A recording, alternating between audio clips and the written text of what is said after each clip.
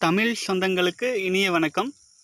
இப்போ வந்து பார்த்தீங்க அப்படின்னா நிறைய பேர் வந்து கே கே கேட்ட கேள்வியே திரும்ப திரும்ப கேட்டுட்டு இருக்காங்க. அதாவது வந்து அதுக்கு நான் மறைமுகமாக நிறைய பதில் சொல்லிட்டேன்.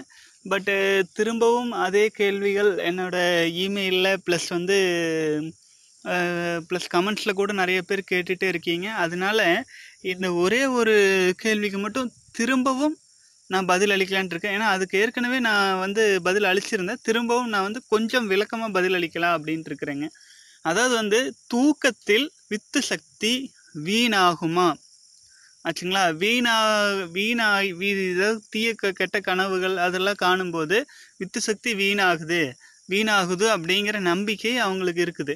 அப்போ அது உண்மையிலேயே வீணாகுதா? இல்லை அதனால் ஒன்றும் பிரச்சனை இல்லையா? அது வந்து செலிபஸியில் நம்ம வந்து கட்டுப்பாட்டோடு இருக்கிறத பாதிக்குமா? அப்படிங்கிற மாதிரி கேட்டிருந்தீங்க. இது வந்து பார்த்தீங்க அப்படின்னா நான் நல்லா யோ நல்லா யோசிச்சு பாருங்க. ஜீவனே சிவலிங்கம். ஆச்சுங்களா? அப்படின்ட்டு திருமந்திரத்தில் சொல்லியிருக்காரு. அப்போ ஜீவன் அப்படிங்கிறது என்னங்க? நம்முடைய உயிர் சக்தியில் ஒவ்வொரு சொட்டு உயிர் சக்தியிலையும் பல பில்லியன் மனித உயிரணுக்கள் இருக்குது ஆச்சுங்களா? அப்போது அந்த ஜீவனே சிவமாக இருக்கிற காரணத்தினால அப்படியெல்லாம் வீண் ஆகுங்களா அந்த பேசிக்கை முதல்ல யோசித்து பார்க்கணும். அந்த மாதிரி அந்த அளவுக்கு வந்து இறைவன் வந்து நம்ம உடம்ப அவ்வளோ வீக்கெல்லாம் நம்மளை படைக்கலை. ஆச்சுங்களா? அது ஒன்று ரெண்டாவது வந்து பார்த்தீங்கன்னா அதனால தூக்கத்தில் போயிடும் அதில் போயிடும் இதில் போயிடும் நீங்கள் காலையில் எழுந்திரிச்சு பார்த்தாலே உங்களுக்கு வித்தியாசம் தெரியும். அதாவது வித்து சக்தி உண்மையிலேயே அது விரயம் ஆகியிருந்தால் காலையில் நீங்கள் எவ்வளோ வீக்காக இருப்பீங்க.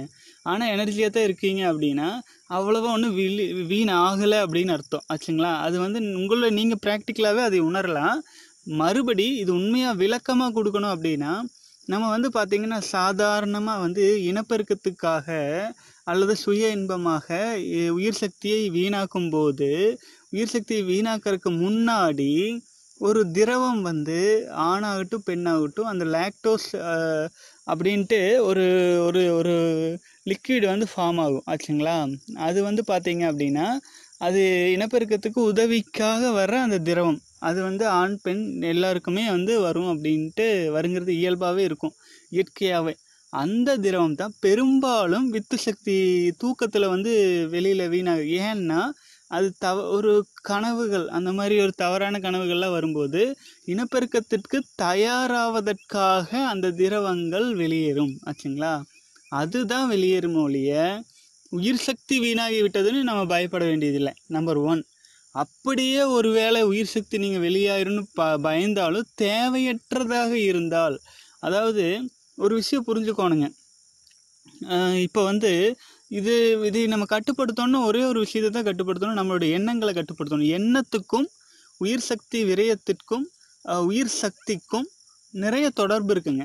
இப்போ வந்து எண்ணங்கள் வந்து அமைதியாக இருந்துச்சு அப்படின்னா ஒரு ஆன்மீக எண்ணங்களா நம்ம லட்சியத்தை நோக்கிய பயணங்களா ப்ளஸ் அந்த மாதிரி எண்ணங்கள் வந்து நல்லா இருந்துச்சு அப்படின்னா நமக்கு வித்து சக்தி உற்பத்தி ஆகிறதுல நம் உடல் அல்லது உடல் செல்கள் வந்து கவனத்தை வைக்காமல் நம்ம முன்னேற்றத்துக்கு என்ன செய்யணுமோ அதில் கவனத்தை வைக்கும். ஆச்சுங்களா?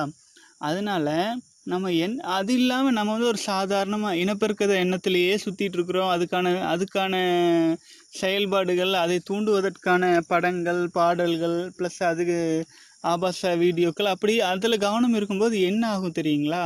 அந்த உடல் செல்கள் பூரா ஓ இனப்பெருக்கத்துக்கு வந்து நம்ம உடம்பு தயாராகிருச்சாட்டிருக்கு அப்படின்ட்டு. ஏன்னு கேட்டிங்கன்னா நம்ம நம்ம டிவியில் இல்லை இல்லை ஃபோனில் இல்லை இன்டர்நெட்டில் தான் அந்த மாதிரி அழகழகான பெண்கள் ஆண்களாக இருந்தால் பெண்களாக இருந்தால் அழகழகான ஆண்கள். நம்ம அப்படி பார்க்கும்போது உடம்பு வந்து இனப்பெருக்கத்துக்கு தன்னுடைய இனத்தை பெருக்குவதற்கான தயாராகிறது ஆச்சுங்களா? அது மேலும் மேலும் உயிர் சக்தியை அதிகப்படியாக உற்பத்தி செய்கிறதுல நம்ம ஏற்கனவே வீ- வீணடிச்சிட்டே இருக்கிறதுனால ரொம்ப நீர்த்து போய் வீக்காக இருக்குங்க உடம்பு. ஆச்சுங்களா?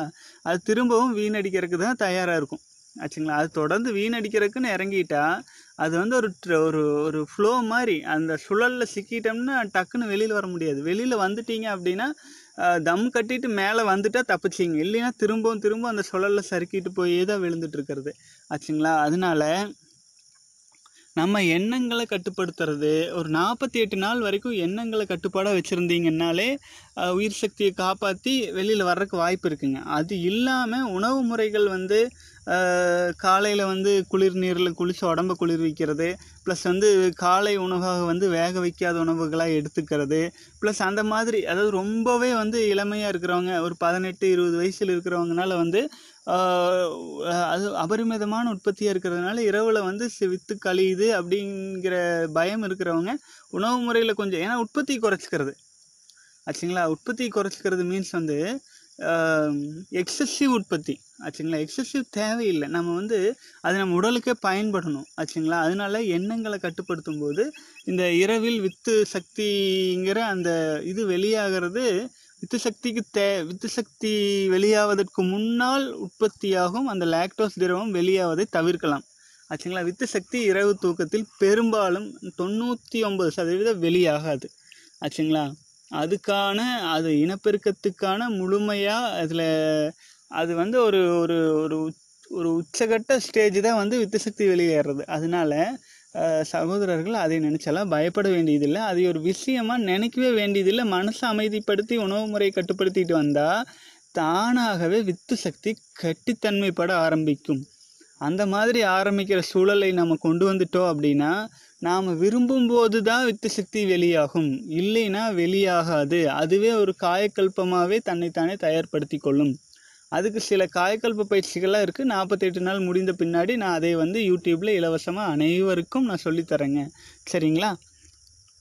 அதுலேயும் சில ட்ராபேக்ஸ் எல்லாம் நிறையாவே இருக்குது அதை வந்து சிலர் வந்து பொருளாதாரத்துக்காக பயன்படுத்துகிறாங்க சிலர் வந்து அதை வச்சுட்டு வந்து தந்திரா அது இதுன்னு சொல்லிட்டு காசு சம்பாதிக்கிறதுக்கு பயன்படுத்திட்டு இருக்காங்க. இது இது வந்து ஒரு விஷயமே இல்லை. நம்ம நாற்பத்தெட்டு நாள் கடந்துட்டோம் அப்படின்னா நம்ம வித்து சக்தி கடினத்தன்மை அடைஞ்சிருச்சுன்னா அதே அதோட ஃப்ளோவை பார்த்துக்கும் சரிங்களா? இப்போ நான் நான் என்ன சொல்கிறேன்னாங்க இப்போது மற்றவங்க வந்து சிலர் வந்து சில பயிற்சிகளை சொல்லி கொடுக்குறாங்க. அந்த பயிற்சிகள் மூலமாக நம்ம வந்து ஒரு ஒரு ஸ்டேஜ் போயிடலாம் அப்படின்னு சொல்கிறாங்க அப்படின்னு வைங்களேன் அது அதை நான் எப்படி பார்க்குறேன்னா சொட்டு நீர் பாசனமாட்ட நான் பார்க்குறேன். சொட்டு நீர் பாசனம் வந்து அந்தந்த மரத்துக்கு போய் அங்கங்கே தண்ணீர் கொடுக்கணும் தண்ணீர் கொடுக்கணும் அப்படிங்கிறது. நம்ம வந்து என்ன பண்ணுறோம் நம்ம அந்த விளையாட்டுக்கே போகல ஏன்னா தண்ணீர் பற்றாக்குறை இருக்கிற இடத்துல தான் சொட்டு நீர். நம்ம வந்து மழையை போல மழையை போல நம்ம வித்து சக்தி காப்பாற்றிட்டோன்னு வைங்களேன் காப்பாற்றி அதை வீணடிக்காமல் நிறுத்திட்டாலே அந்த அந்த வீணடிக்காத அந்த சக்தி மழையை போல் உடலுக்கு வந்து வலிமையை கொடுக்கறக்கு ஆரம்பிச்சிடும் ஆச்சுங்களா? சொட்டு நீரில் தாவரங்கள் நல்லா வருங்களா? இல்லை நல்ல இயற்கையான மழையில் தாவரங்கள் நல்லா வருங்களா? அதனால நம்ம நேர்மையான இயற்கையான முறையில் போனாலே அனைத்தும் சிறப்பாகிடும் ஆச்சுங்களா? இப்போ நான் நம்ம உடம்பு சொல்லும் இது செய்யும்போது வித்து சக்தி வீணாகுது அப்படிங்கிற வித்து சக்திக்கான தூண்டுதல் ஆகுதுங்கும் போது அதை தவிர்த்துட்டே வரணும். அதுக்கான கட்டுப்பாடு ஒரு நாற்பத்தி எட்டு நாள் தாண்டின பின்னாடி தானாகவே தோன்றும். நம்ம அதுக்கு வழி விட்டால் சரி. ஆச்சுங்களா? நம்ம மனசை எப்போ பார்த்தாலும் ஏதோ ஒன்றுல ஈடுபடுத்தி ஈடுபடுத்தி ஈடுபடுத்தி நம்மளை நாமளே வீக் பண்ணிக்காமல் இருந்தோம்னா சரிங்க. ஆச்சுங்களா? இப்போது ஓரளவுக்கு ஒரு தெளிவு இருக்குன்னு நினைக்கிறேன். பயப்பட வேண்டியதில்லை. இரவில் வித்து சக்தி வீணாகுது அப்படின்னா அதை பற்றி எந்த சூழலிலும் அது ஒரு பெரிய விஷயமா நம்ம எடுத்துட்டு அதை அதை நினச்சி மனசு சோர்ந்து போக வேண்டியதில்லை. இரவில் வித்து சக்தி வீண் தூக்கத்தில் வீணாகுதுங்கிற கவலை இனிமேல் வேண்டாங்க. நம்ம வந்து தைரியமாக இப்போ நாற்பத்தி எட்டு நாள் வித்து சக்தி காக்கும் இந்த பயணத்தை வந்து தொடர்ந்து எடுத்துகிட்டு போகலாம் ஒரு மண்டலம் நம்ம வித்து சக்தியை காப்பாற்றிட்டோம் அப்படின்னா அது வந்து நமக்கு வந்து இப்போ உண்மையிலேயேங்க நமக்கு மிகப்பெரிய சக்தியை தரும். அது வந்து நம்ம உடலில் உள்ள பல நோய்களை குணப்படுத்துவதற்கு ஒரு ஆதாரமாக இருக்கும். அதுக்கு நீங்களே உணர்வீங்க நாற்பத்தெட்டு நாள் போகும்போது. அது அது வந்து ஒரு ஹையஸ்ட் ஸ்டேஜ் ஆஃப் எனர்ஜியாக இருக்கும் சக்தியாக இருக்கும். அது உங்களை அது வந்து உன்- நம்மளை நம்மளை வந்து வழிநடத்திட்டு போகும் சரிங்களா? அதை ஆன்மீக பயணமாக நம்ம மாற்றி கொண்டுட்டு போகும்போது அது நம்ம வாழ்க்கைக்கு வந்து ஒரு ஒரு அமைதியும் தெளிவும் எல்லாமே நமக்கு வேணுங்கிறது தானாகவே நம்மை நோக்கி வர்றதுலேருந்து எல்லாமே கிடைக்கிறதுக்கு ஆரம்பிக்கும். இல்லை இதை வந்து ஒரு தொழில் பிஸ்னஸ் அப்படின்ட்டு எடுத்துகிட்டு போகும்போது அது ஒரு வகையான பலனை கொடுக்குங்க. அது எது எந்த குறிக்கோள் எதுவுமே இல்லாமல் போகும்போது திரும்பவும் இனப்பெருக்கத்துக்கான வழியிலேயே நம்மளை இழுத்துட்டு போயிடும் அதனால நம்ம இது வந்து ந- அதாவது நம்ம கையில் ஒரு நெருப்பு இருக்குன்னு வைங்களேன் அந்த நெருப்பை வந்து எப்படி பயன்படுத்துகிறோம் அப்படிங்கிறது நம்ம கட்டுப்பாட்டில் வச்சுக்கணும். அந்த விஷயத்தில் தெளிவாக இருக்கணும். ஏன்னா நம்ம வந்து நெருப்பு இருக்குது அப்படிங்கிறனால எரிச்சிட முடியாது இல்லைங்களா. நமக்கு தேவையான உணவை பக்குவமாக தயார் பண்ணி நம்ம பண்ணுற மாதிரி. உங்கள் வாழ்க்கையில் என்னத்தை அச்சீவ் பண்ணணும்னு நினைக்கிறீங்களோ எதை நோக்கி நம்ம பயணத்தை கொண்டுட்டு போகணும்னு நினைக்கிறோமோ அதுக்கான அதுக்கான பாதையாக இந்த வித்து சக்தியை காப்பாற்றுறது இருக்கணும். அதில் தெளிவாக இருக்கணுங்க. சரிங்களா?